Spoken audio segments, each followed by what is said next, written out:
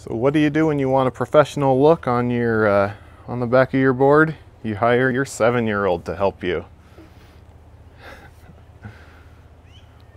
so we found some old paint in the in the basement, just some old white semi-gloss paint. We're gonna go ahead and throw this on here and probably look a little bit better than bare MDF.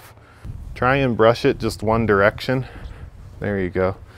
Yeah, instead of going like this way and then this way, try and go just up like forward and back. Like pick a pick a direction you want to go and, and stick with it. Does that make sense?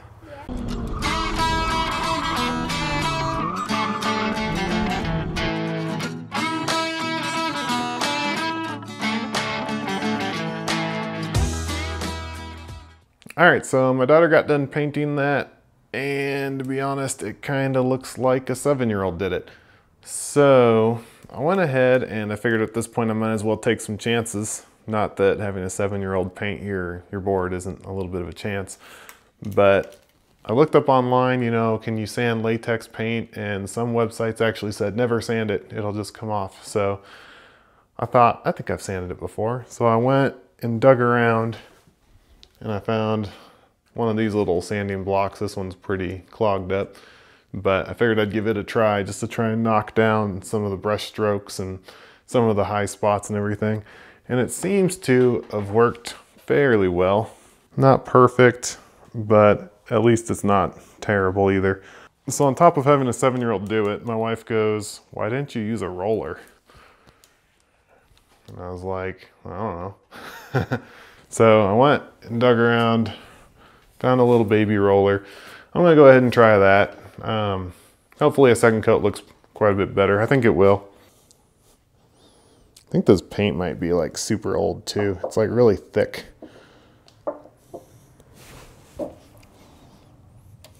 It's hard to even coat the roller.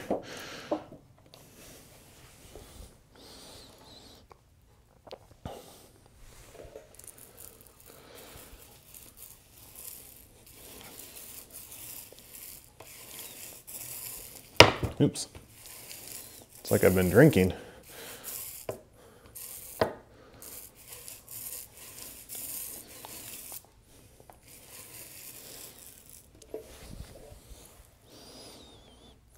Man, why didn't my daughter do it this quick? Jeez. I'm already almost done. The interweb said not to keep messing with it. So I'm gonna leave it at that. Kind of knock the sides a little bit.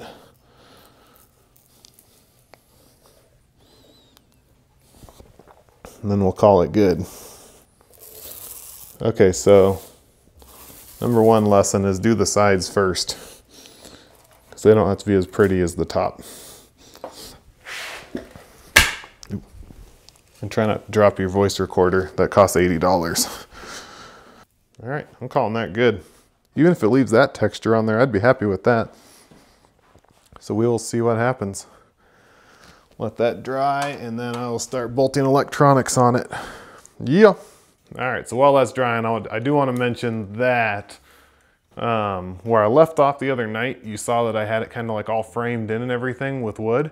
And I actually went as far as to wood glue that all together. And then as the wood glue is drying and everything, I kind of thought about it and started placing components in there that are loose, like my drivers and started looking at how wires are gonna run and I realized like my DB25 cord is supposed to go right through the side of it and all my power cords are gonna go through the side. And I went, crap, none of that's gonna work if I've got, you know, all this wood here. So with it still wet, I was able to rip it off, kind of clean up the glue as best I could. And I realized that I'm gonna be living with this flat piece for now. Um, there's probably better ways to engineer it so that I could do a wall on there and frame it in, but for now, that's what I'm gonna be using. So the other way wasn't well thought out apparently, but you know, move on with life. All right, folks, so it's the next night. I let it dry, ta-da. It actually looks pretty good, I think. I mean, it's not perfect, but sanding it and uh, going over it with the roller really definitely helped. So tonight, I'm gonna start tearing this bad boy apart. I think I've said that like three times now on this video, but I keep trying to like preserve as much wiring as I can to try and um, know how the next um, portion is going to go back together and everything. And I think I'm to the point where I just need to start tearing into it. You know, I can basically start from scratch with the wiring. I kind of have an idea how it goes. I'm going to take a few snapshots here before I really dig in. But for the most part, you know, I, I need to just dig in. It's going to be a better product in the end if I do that. Um, with everything disconnected, I can kind of go through and arrange it on this board so that it's how I like it um, without all these wires and everything dangling everywhere. So that's definitely the next step.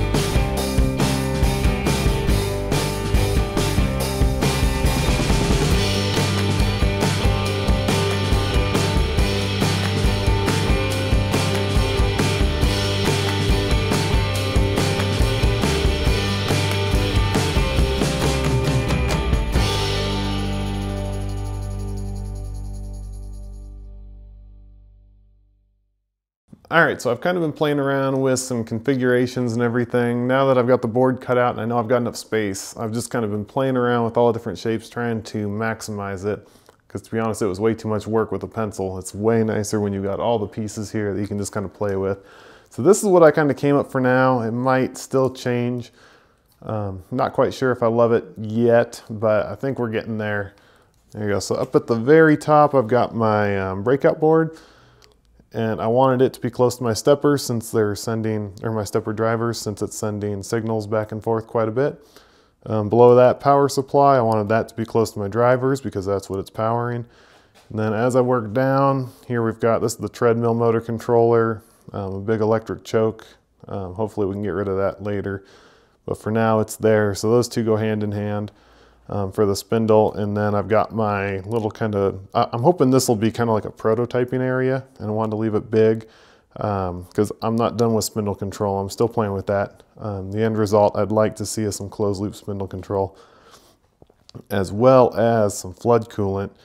So I know I'm going to be needing some relays and that kind of thing to get that up and running later on down the road. Um, as well as I don't really like all these um, power cords. I've got to plug like five things in. So I'd like to maybe set up like a bus bar here where I've got 110 coming in and maybe a little circuit that breaks out 5 volts, 12 volts, whatever I need. And then um, get rid of a lot of this stuff, clean it up, add some fuses, add a circuit breaker, um, hopefully make it nice and safe. Um, all on the way to being able to just turn this thing on, go lights out, call it a day, come back, do a tool change, that kind of thing.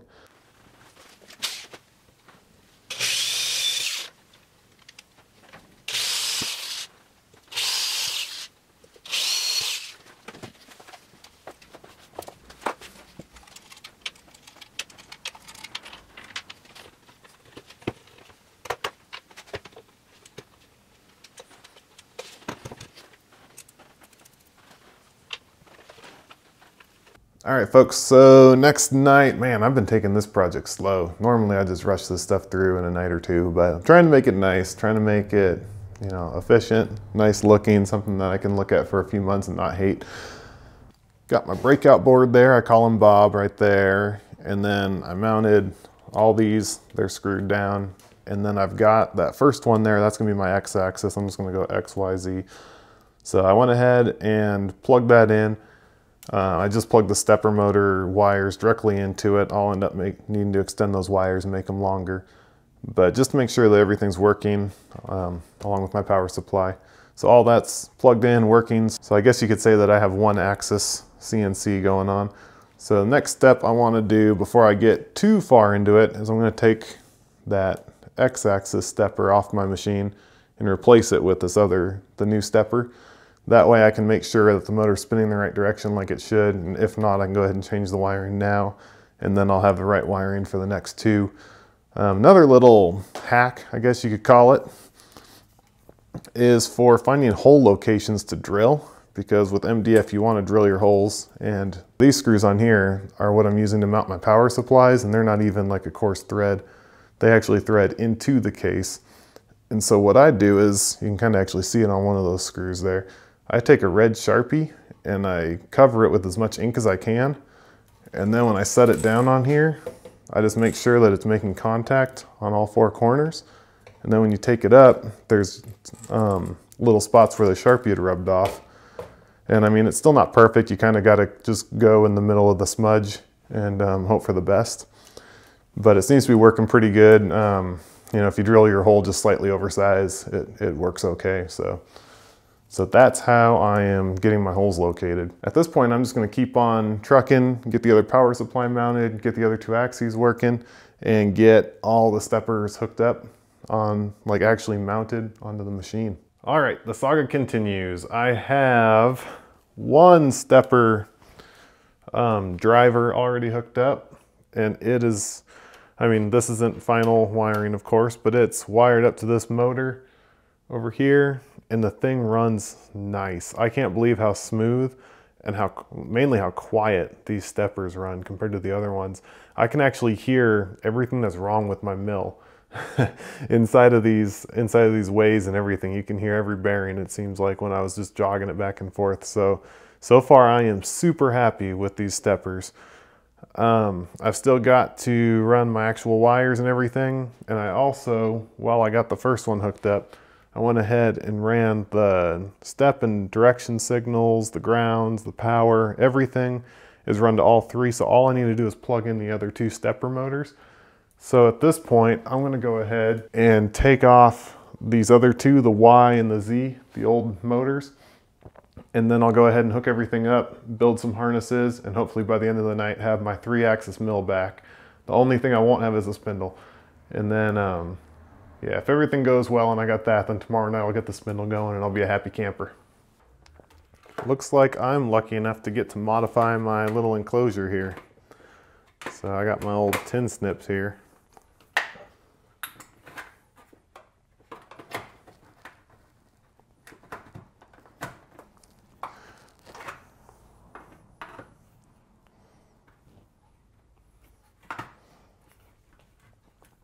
Okay, plans are in the works to replace all this stuff anyway.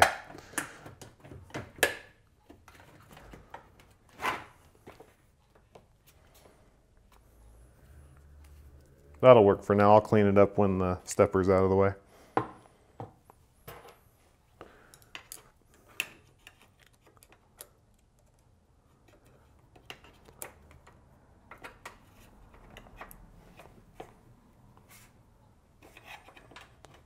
So I actually refused to do this job today without going to Harbor Freight and getting some of these nice little T-handle Allen keys because I am so tired of fighting these motors to get them on and off with just a regular Allen wrench.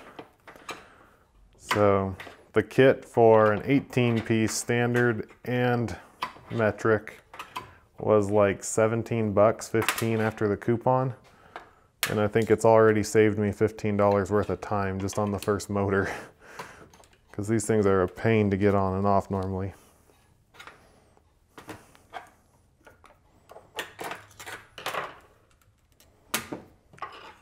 And if you're not all boxed up against a corner, they come out just like this, nice and easy.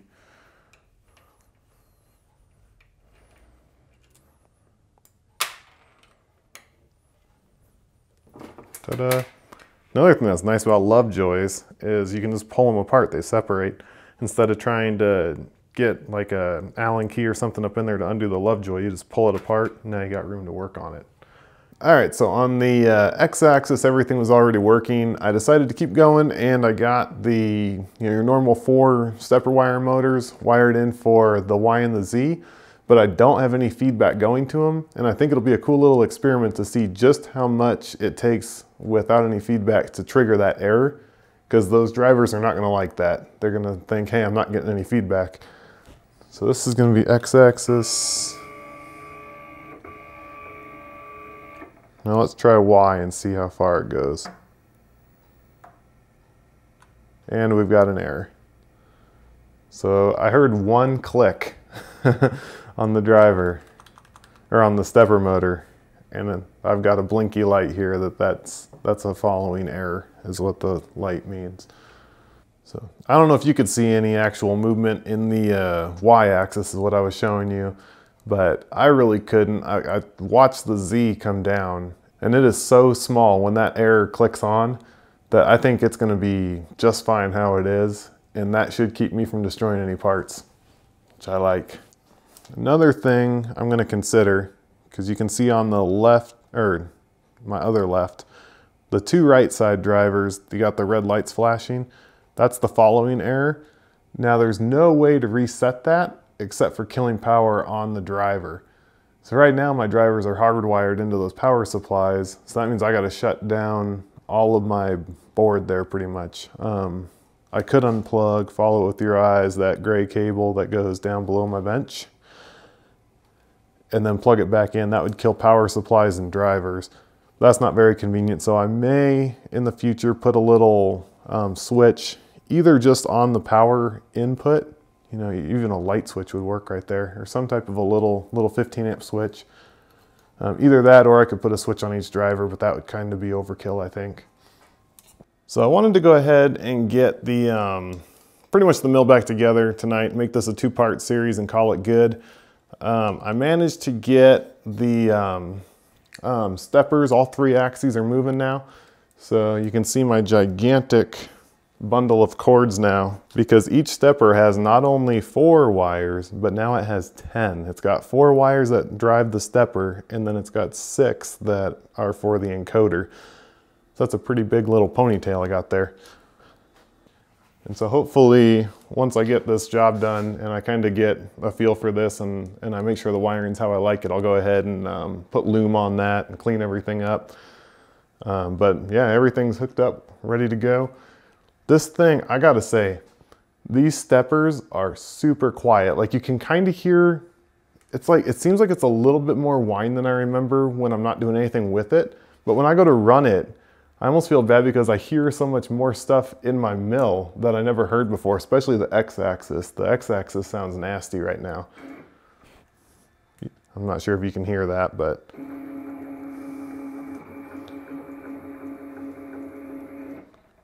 And then the Z sounds really good. It doesn't sound so like high pitched and whiny like it used to. It sounds like a CNC machine now. And then that's some bearing chatter at the top there. But like it sounds like it should. Like it sounds really good. And then Y is the same boat. Now I will say I'm actually afraid to crash this because with closed loop, if I command it to go to the end, it's gonna keep trying to go to the end. so that wouldn't be good. So I'm gonna stop there while I'm ahead. But yeah, next step I've got these cables hanging out. These are positive and negative directly going to my spindle motor. So I will go ahead and um, run these to the driver, the, the treadmill motor controller, and get all that stuff wired in. So that'll probably be next week's video. So sorry I couldn't get it all done this week. So I think that's about it for this week. I'm gonna leave it at that. So I will see you next week.